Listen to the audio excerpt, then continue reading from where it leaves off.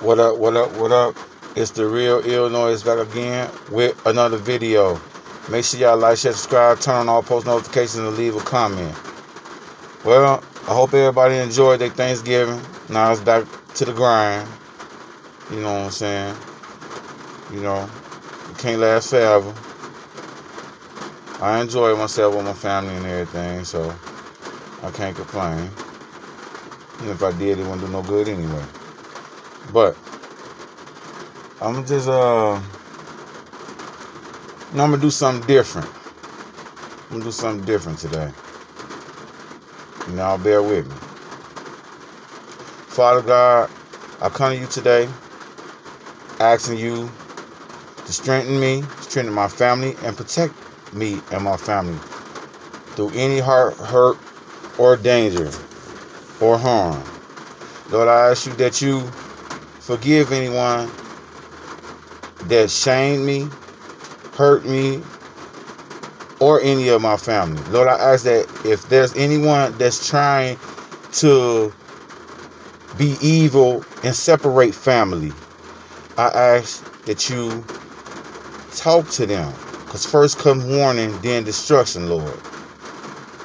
Sometimes, God, people do stuff out of rash decisions and don't even understand how detrimental and dangerous it is, Lord. So I ask you that you touch them, Lord.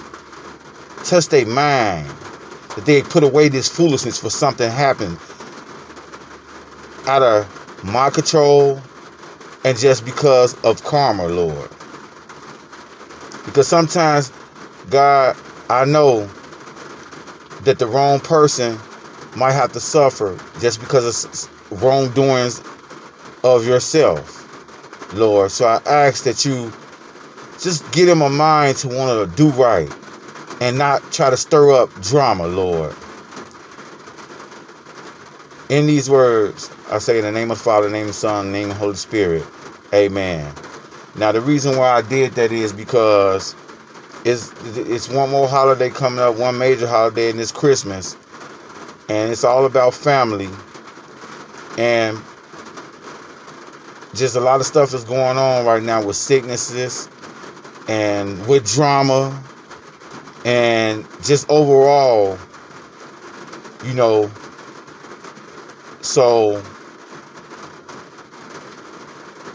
I just wanted to cover my family. And you know what? This is an extended prayer. And God, I almost forgot. Protect the world, not just my family. Shield the world.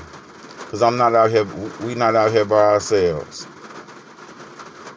And, um, but, so, a lot of times, like, people, you know,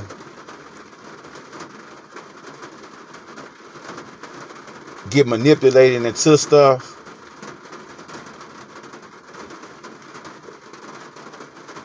because their mind is not strong enough. So that's the reason for that prayer too. Because like God said a long like, like Jesus said a long time ago, forget them, Father, for they know what they do not know what they doing.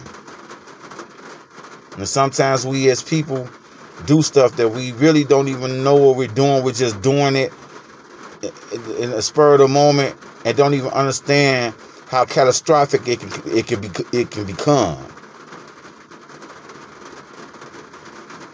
See, we do stuff and and and don't even realize how it affects other people off our actions.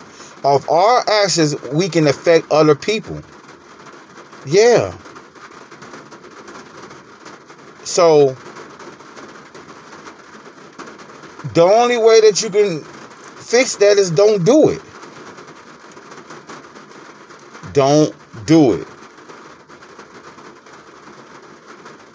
Now I ain't gonna sit up there and say I'm I'm perfect or nothing like that. I never did nothing I had no business doing. That's why I'm on here trying to explain to y'all how serious this is. It's not worth it. It's not worth it, y'all. Alright, man. I'm finna hit hit on here and secure this bag. I'll talk to y'all later. Peace and love.